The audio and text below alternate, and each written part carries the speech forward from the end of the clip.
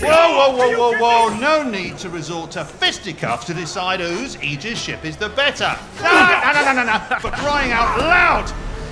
Go get in your damn ships! Come on! Let's take it to the tarmac, shall we?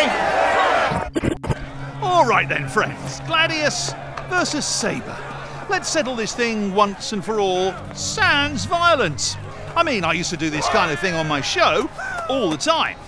Are they ready? This is a bad idea! Sounds good. See, we've arranged a tower of barrels for each ship to blast. Each ship has the standard factory loadout.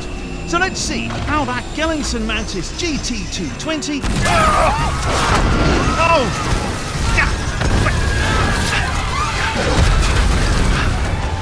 Maybe we should get out of here. Never put the cutter. Oh, there it is.